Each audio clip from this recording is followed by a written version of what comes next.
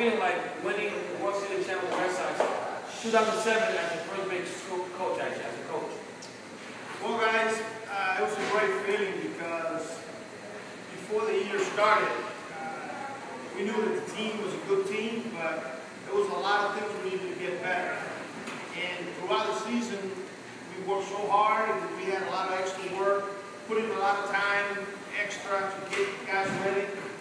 Uh, guys working on the gym, getting ready to have a great season. And when you have it, it happens that you finally win the last game. You're the last team on the field through the whole season. 162 games plus the playoffs.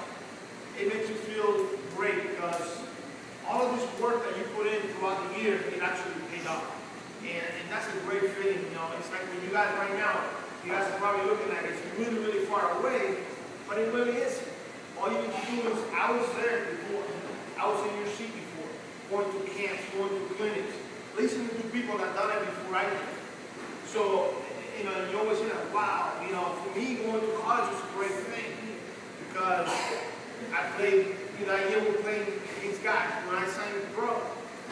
Again, looking at guys that I saw on TV, now all of a sudden I'm right there with it. It can happen to you guys. It's the hard work